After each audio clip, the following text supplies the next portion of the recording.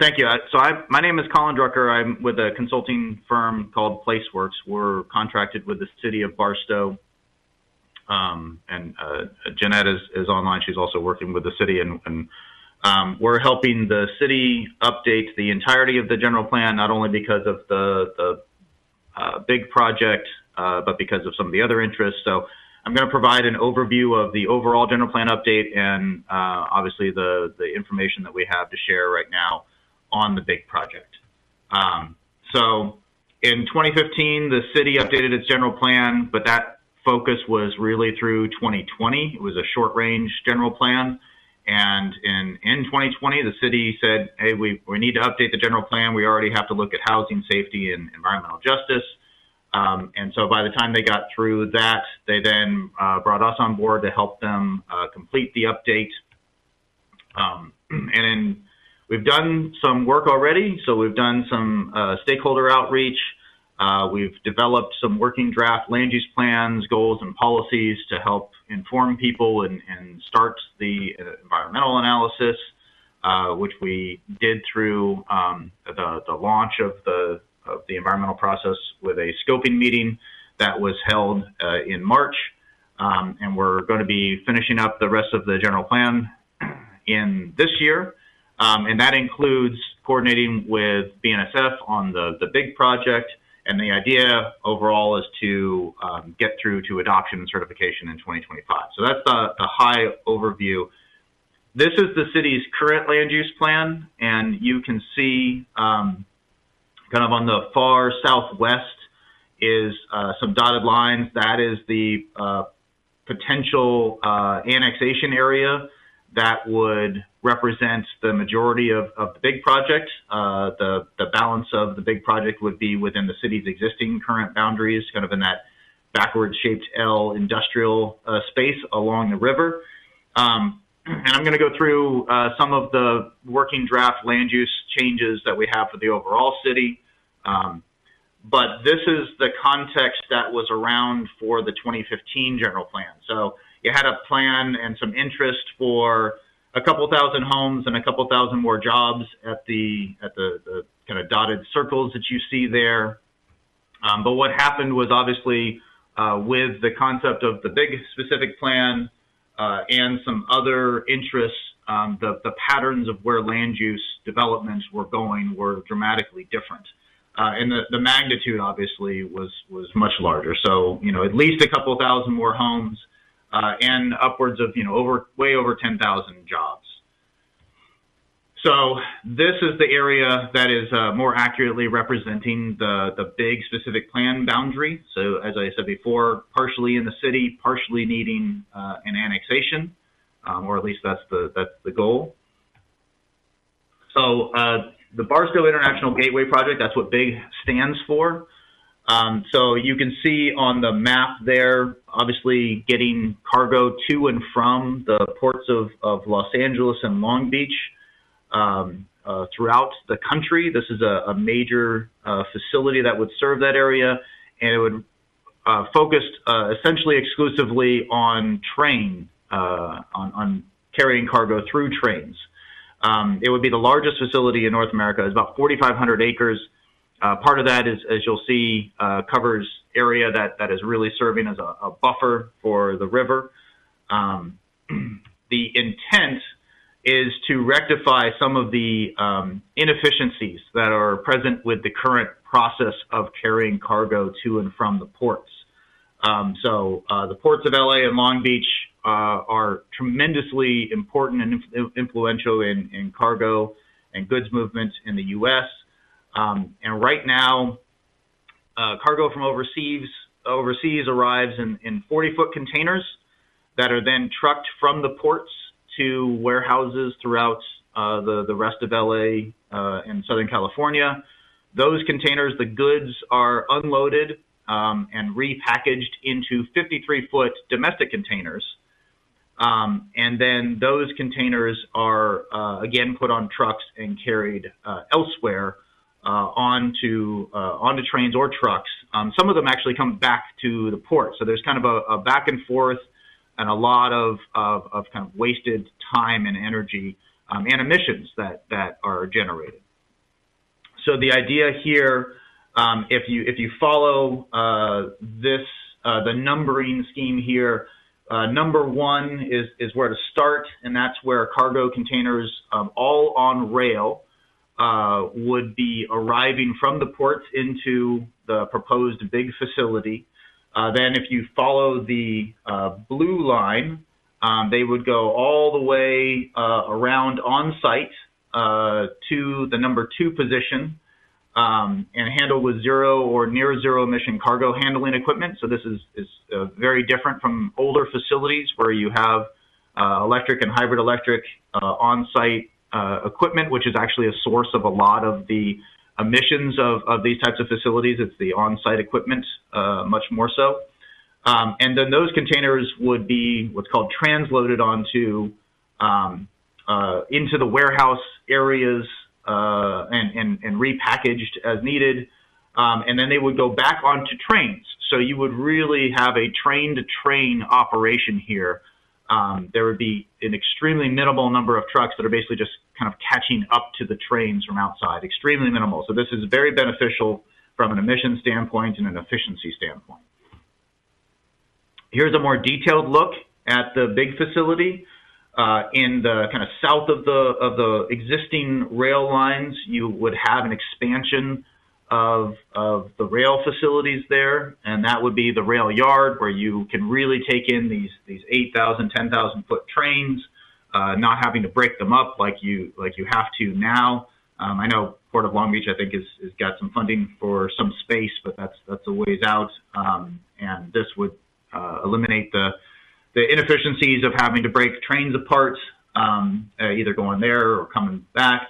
Uh, number two area, that kind of blue area, that's where on the north side of the tracks, that is really what's where the what's called transload warehouse center. So it's where all of the warehousing would be built um, in order to uh, reclassify and, and, move around the goods in the containers uh, to then go back onto the trains.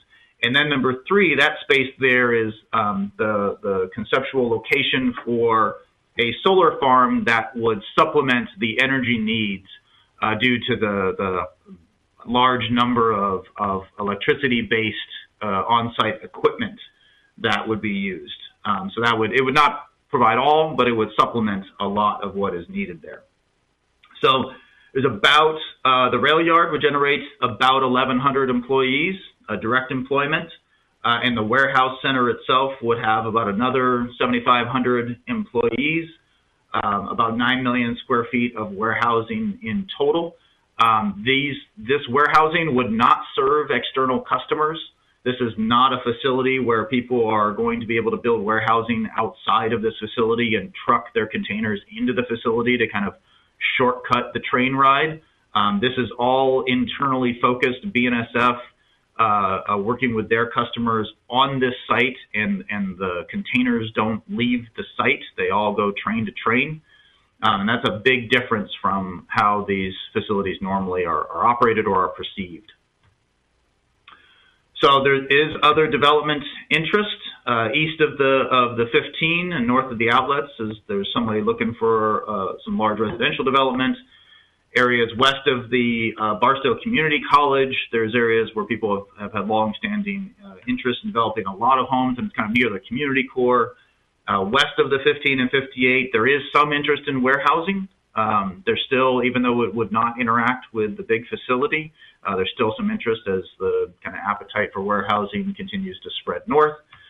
And then south of the 15 and the old 58, uh, there are some areas where it's kind of long been desired. Uh, but as you'll see in the land use plan, we think that these are can be appropriate locations that don't uh, impact the community as much. And then there are some desires for uh, casino development uh, through tribal entities uh, south of the outlets. So obviously, this much change uh, has a lot of planning implications. So how do we arrange um, new land uses? How do they affect existing land uses?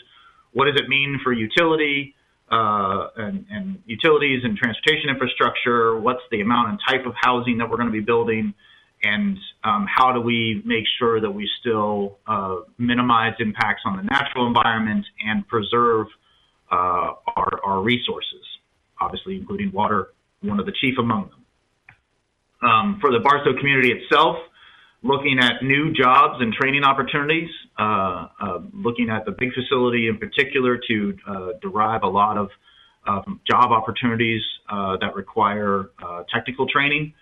Um, but looking at whether or not, and we're working with all of the various uh, groups, schools, et cetera, especially with the help of, of Jeanette, um, to look at what new public facilities are needed, where should they be built, um, what's the ideal location for them and, and size and timing, um, and then how do you preserve and maximize uh, cultural and historic resources. And for the city, we're obviously looking from a fiscal standpoint. Well, how do they budget for this? Uh, what, what, how, how clear can we make the crystal ball on, on when and, and where development's going to happen so that they can provide the public services and, and partner with the appropriate entities to make sure that the quality of life improves. So again, this is the current land use plan. Um, and I'm going to uh, show with you right now uh, the proposed, but obviously uh, um, this is a, a large area.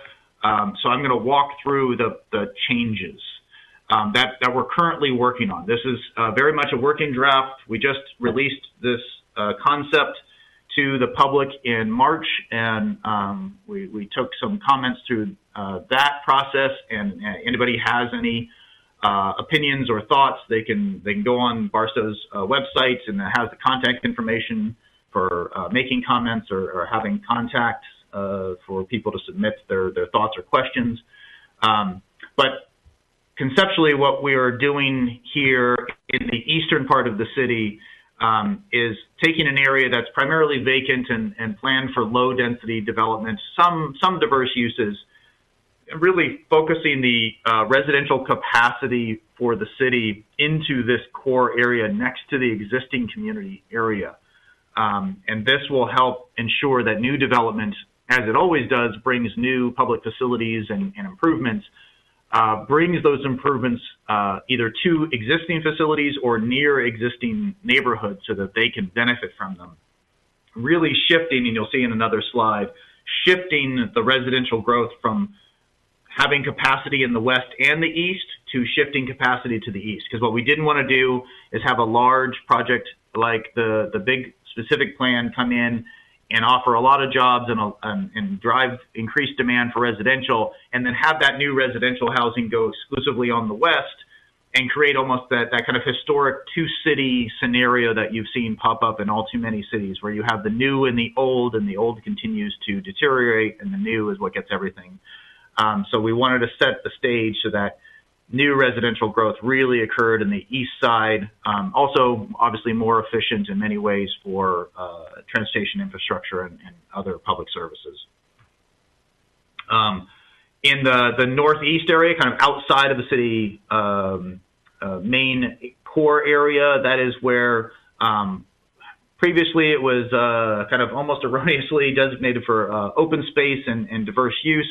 Um, but it does make sense, especially with the property owner's uh, interest, uh, to have that as a potential location right on and off the freeway for warehousing in a way that uh, doesn't impact the, the rest of the community as much.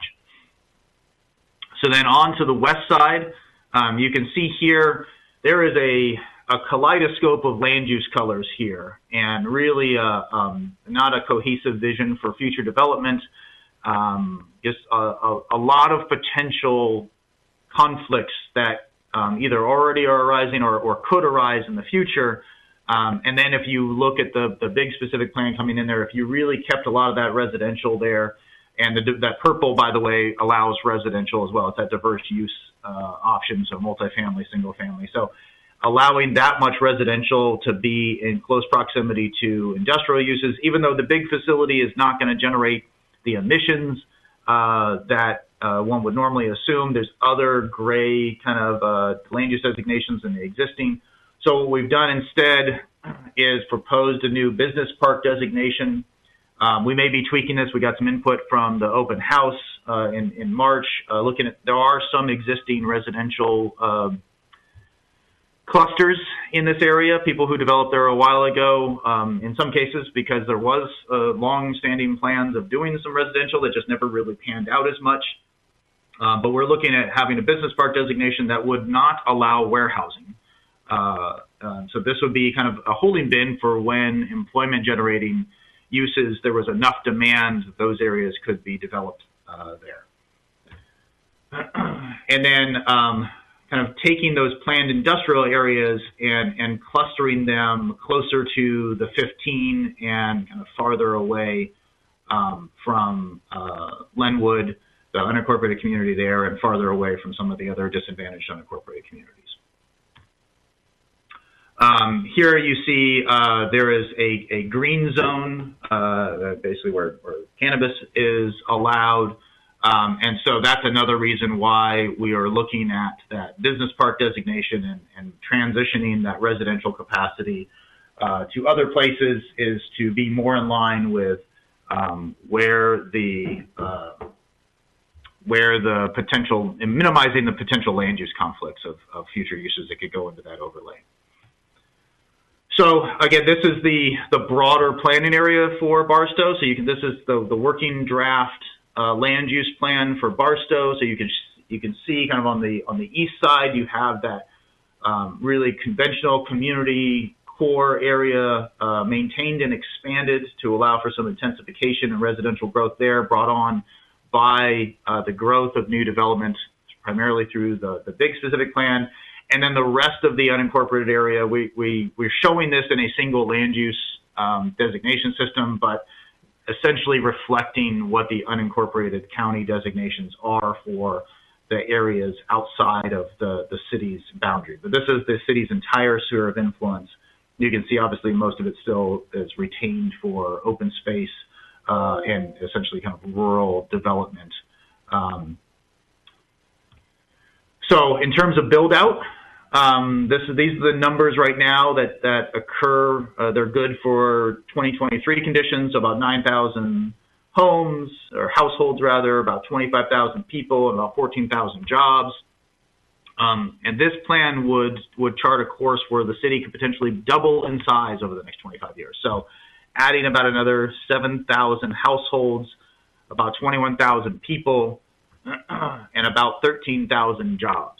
Uh, about eight to 10,000 of those would be direct jobs uh, on the big facility, and the rest would be uh, generated by the, the household growth um, needing additional services. Uh, one of the things uh, we talked to early on was the, the hospital uh, folks and them saying, boy, it'd be great to get a lot more people here because then we could um, retain and attract uh, better medical professionals and, and function and, uh, retain our, solvency. So uh, getting this growth here is key not only for future prosperity, for but for um, improving the life and, maintaining the quality of life that people have right now. So it'll be about 2048 is the, horizon year that we're looking at. So we are doing an EIR, um, both for the general plan update. Um, it is also uh, being done at a project level for the big specific plan. So this is going to be one EIR that covers both the entirety of the build out scenario at a programmatic level and the big specific plan at a project level. we are doing a variety of technical studies. Uh, obviously, the roadway traffic analysis, even though level of service is not a CEQA issue, it is very much a, a functional reality of making sure the roads work, especially when you have this much growth and the potential need for new roads, uh, for water and, and wastewater. uh, we're working with Golden State Water and, and others to make sure we understand what the water demands are going to be, not only for the big specific plan, uh, both during construction and, and ultimately operations, but also for the entirety of the general plan and making sure that we're understanding uh, the, the flow of water and the demands and the supply from air quality, looking at how all of this new uh, growth will impact air quality. Um, the uh, nice aspect of the big specific plan is, is its uh, use of uh, zero or near zero emission vehicles and equipment. Um, and that helps uh, avoid a lot of the air quality problems that would normally be associated with the, the conventional style of those projects. And then for energy, um, doubling the, the city has uh, some potentially big impacts on, on energy demand. So we're working with utility providers on that. And then obviously paying special attention uh, to folks, uh, uh whether it's um, the, the, tribal entities uh, or looking at uh, other cultural resources and then also things from many eons past that might be impacted through construction activity. So again, this is the, the project timeline. Um, we kind of started out in uh, March. I think it may have been uh, technically uh, still uh, still uh, winter. Um, went to the the council uh, to get kind of just their exposure to it. doing the technical analysis all this year, um, updating the general plan, getting a, re a public review draft of the general plan out in early 2025 uh, and then the public draft version of the draft EIR out, public review version of the draft EIR out uh, later on in 2025, responding to comments, um, and provide, preparing a final EIR in uh, later in 2025, and then going through to adoption hearings. So that is the uh, uh, speed run of the next 25 years, potentially, of Barstow, and I'm available for any questions or comments.